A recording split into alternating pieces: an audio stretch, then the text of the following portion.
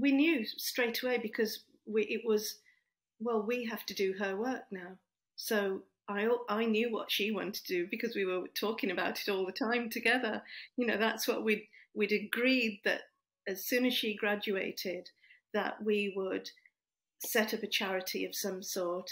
We would develop a project in a third world country or, or somewhere where there's a need, um, and and we would work towards it. We'd we'd put a plan together and everything, and that's what what we what we knew we were going to do. So I said, well, I know what we were going to do. Let's do that.